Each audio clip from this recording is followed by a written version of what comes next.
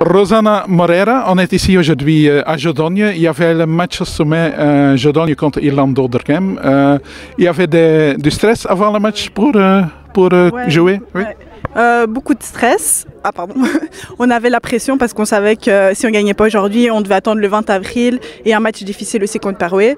Donc gagner ici, c'était vraiment l'objectif principal et on l'a fait heureusement, mais beaucoup de stress vraiment. Vous êtes mené à la mi-temps 2-1, puis qu'est-ce que l'entraîneur a dit à la mi-temps?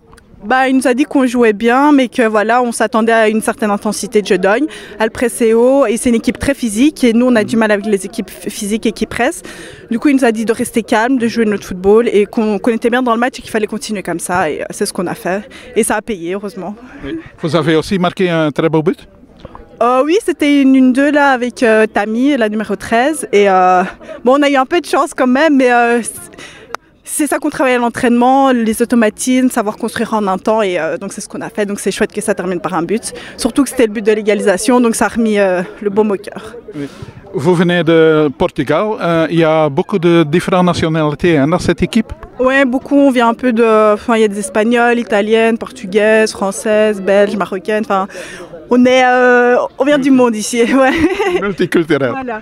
Et c'est bon pour l'ambiance aussi?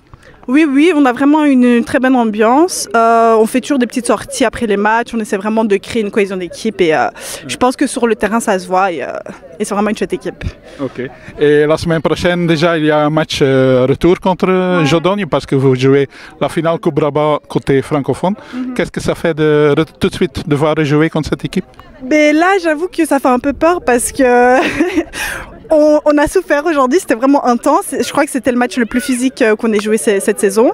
Du coup, bah, ça fait un peu peur et on se dit maintenant on va se reposer. Enfin non, on doit s'entraîner, mais là on va on va se reposer aujourd'hui. On va fêter en équipe et euh, après on, on reprendra le match. euh, Enfin, on étudiera le match et on, on se battra pour avoir la coupe aussi.